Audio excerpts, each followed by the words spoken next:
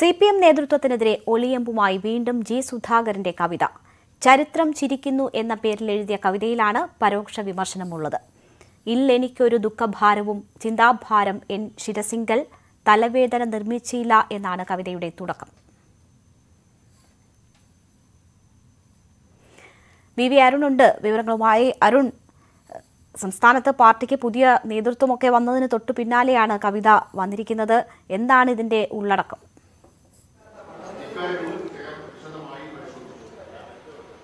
G Sudhakaran ഇപ്പോൾ C P എമ്മിന്റെ ഒരു ബ്രാഞ്ച് കമ്മിറ്റി അംഗം മാത്രമാണ്. കഴിഞ്ഞ എറണാകുളം സമ്മേളനത്തിലാണ് അദ്ദേഹത്തെ സംസ്ഥാന സമിതിയിൽ നിന്നും ഒഴിവാക്കിയത്. അതിനുശേഷം പാർട്ടി നേതൃത്വമായി തൊട്ടു മുമ്പ് തന്നെ പാർട്ടി നേതൃത്വമായി അത്ര നല്ല ബന്ധത്തിലായിരുന്നില്ല സുധാകരൻ. ഇപ്പോൾ ഒരു ബ്രാഞ്ച് കമ്മിറ്റി അംഗം മാത്രമായി അദ്ദേഹം തുടരുകയാണ്. അതിനിടെയാണ് ഇത്തരം ഒരു കവിത. നേരത്തെയും തനിക്ക് പറയാനുള്ള കാര്യങ്ങൾ കവിതയിലൂടെ പാർട്ടി നേതൃത്വത്തോട് പോലും പറഞ്ഞിട്ടുള്ള നേതാവാണ് ജി സുധാകരൻ ഇപ്പോഴും അത്തരമൊരു കവിത അതായത് ഇപ്പോഴത്തെ അദ്ദേഹത്തിന്റെ സാഹചര്യമായി കൂട്ടി വായിക്കുമ്പോൾ സ്വാഭാവികമായും പാർട്ടിക്കെതിരെ പാർട്ടി നേതൃത്വത്തിനെതിരെ ഒളിയമ്പായി വ്യാഖ്യാനിക്കപ്പെടാവുന്ന വരികളാണ് ഈ കവിതയിലൂടെ തുടങ്ങുന്നത് തന്നെ.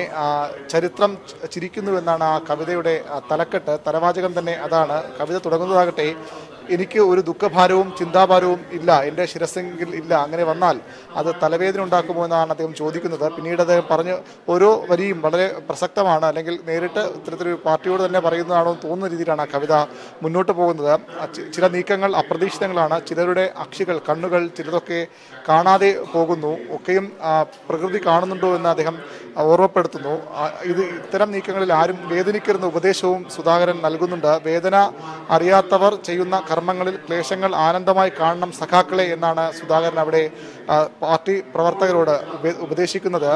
ചിലരെ കാണുമ്പോൾ ആനന്ദമല്ലാതെ മറ്റൊന്നുമില്ല. പക്ഷേ മറ്റുള്ളവർ അപരൻ അപരൻ ക്ലേശങ്ങളിൽ മുങ്ങിത്താഴുമ്പോഴും പൊങ്ങി നിന്ന് ഇത്തരത്തിലുള്ള ആനന്ദം പ്രകടിപ്പിക്കുകയാണ് പലരും. രാവെന്നും പകരുന്നുമില്ലാതെ അധ്വാനിച്ച് നാടിനെ മയക്കുന്ന നിർമ്മാണം നടത്തിയവർ.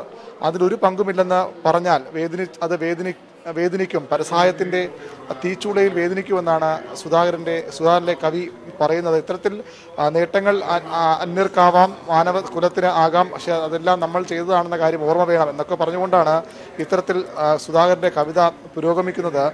ചരിത്രത്തെ തൽക്കാലം മറക്കണം. മറക്കൂ ചരിത്ര തൽക്കാലം. ആനന്ദത്തിൽ നറു വീഞ്ഞുകൾ മൊത്തിക്കുടുക്കി. പക്ഷേ ചരിത്രം ചിരിക്കുന്നു. എപ്പോഴും മറക്കാതെ അത് എപ്പോഴും ചരിത്രത്തെ മറക്കരുതെന്ന് പറഞ്ഞുകൊണ്ടാണ് സുധാകര കവി ഈ സുധാകരൻ ഈ കവിത അവസാനിപ്പിക്കുന്നത്. ഏതായാലും പാർട്ടി നേതൃത്വവുമായി ഇപ്പോൾ സുധാകരന്റെ ബന്ധം പാർട്ടിയിൽ അദ്ദേഹത്തിന്റെ സ്ഥാനം ഇതൊക്കെ ചേർത്ത് വായിക്കുമ്പോൾ സുധാകരൻ വളരെ കൃത്യമായി തന്നെ ഈ പാർട്ടിക്കെതിരെ അല്ലെങ്കിൽ പാർട്ടി നേതാക്കളോട് പറയേണ്ട കാര്യങ്ങൾ കവിതയിലൂടെ പറയുന്നു. കാരണം അദ്ദേഹത്തിന് പറയാനുള്ള വേദി ബ്രാഞ്ച് കമ്മിറ്റികൾ മാത്രമാണ്. ബ്രാഞ്ച് കമ്മിറ്റി അംഗമായി തുടരാമെന്ന് അദ്ദേഹം തന്നെയാണ് പാർട്ടിയെ അറിയിച്ചത്. സംസ്ഥാന സമിതിയിൽ നിന്ന് പ്രായ പരിധി നിബന്ധനയുടെ പേരിലാണ് സുധാകരൻ ഒഴിവാക്കപ്പെടുന്നത്. അതിനു മുമ്പ് അദ്ദേഹത്തിനെതിരെ പാർട്ടി നടപടി വരുന്നു. അതുകൊണ്ട് തന്നെ പാർട്ടി നേതൃത്വവുമായി അത്ര ചേർന്ന് പോകില്ല വെറും ഒരു ബ്രാഞ്ച് കമ്മിറ്റി അംഗമായി തുടരുമ്പോൾ തനിക്ക് പറയാനുള്ള കാര്യങ്ങൾ നേരത്തെ പോലെ കവിതയിലൂടെ തന്നെയാണ് ജി സുധാകരൻ ഇപ്പോഴും പറയുന്നത്. അത് അരുൺ നേരത്തെയും സുധാകരന്റെ കവിതകൾ ഇതുപോലെ സന്ദർഭവും സാഹചര്യങ്ങളുമായി ചേർന്ന് പോകുന്ന തരത്തിൽ വന്നിട്ടുണ്ടായിരുന്നു. അദ്ദേഹത്തിന് പറയാനുള്ളത് കവിതകളിലൂടെ പറയുന്നു എന്ന തരത്തിൽ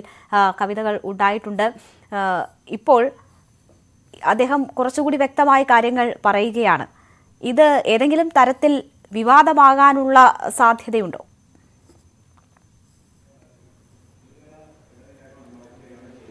സുധാകരന്റെ ഇത്തരം കവിതകൾ നേരത്തെയും പാർട്ടി നേതൃത്വത്തിന് ചെറിയ തോതിലെങ്കിലും തലവേദന സൃഷ്ടിച്ചിട്ടുണ്ട്. നേരത്തെയും ഇതുപോലെ പാർട്ടി വിമർശിച്ചുകൊണ്ടും പരോക്ഷമായി വിമർശിച്ചുകൊണ്ടും ഒളിയമ്പ് ചെയ്തുകൊണ്ടും സുധാകരൻ കവിത എഴുതിയിട്ടുണ്ട്. പക്ഷേ അത് പാർട്ടിയാണെന്ന് പറയാനോ അല്ലെങ്കിൽ താൻ ഉദ്ദേശിച്ചതാണെന്ന് പറയാൻ സുധാകരൻ തയ്യാറായിട്ടില്ല. പാർട്ടി അതിന്റെ പേരിൽ മറ്റു നടപടികളിലേക്കൊന്നും പോയിട്ടുമില്ല. ഇപ്പോഴും അത്തരം നടപടികൾ ആരും പ്രതീക്ഷിക്കുന്നില്ല. പക്ഷേ കഴിഞ്ഞ കുറേ നാളുകളായി ഏകദേശം അഞ്ച് മാസത്തോളമായി ഒരു സംസ്ഥാന ബ്രാഞ്ച് കമ്മിറ്റി അംഗം മാത്രമായി ഒതുങ്ങിയ ഒരു പ്രധാനപ്പെട്ട കേരളത്തിലെ ഏറ്റവും പ്രധാനപ്പെട്ട നേതാക്കളായ സുധാകരൻ തനിക്ക് പറയാനുള്ള കാര്യങ്ങൾ വീണ്ടും പറയുമ്പോൾ സ്വാഭാവികമായും മാധ്യമങ്ങളിൽ ഇത് നിറയുമെന്ന് അദ്ദേഹത്തിന് അറിയാം. അദ്ദേഹം അതിലൂടെ ഇത് പാർട്ടി അറിയിക്കുക എന്ന് തന്നെയാണ് അദ്ദേഹത്തിന്റെ സ്വാഭാവിക ഉദ്ദേശ്യം. പക്ഷേ അതിന്റെ പേരിൽ നടപടിക്കോ മറ്റു കാര്യങ്ങളിലേക്കോ പാർട്ടി കടക്കുമോ എന്നും ഈ ഘട്ടത്തിൽ പറയാൻ കഴിയില്ല.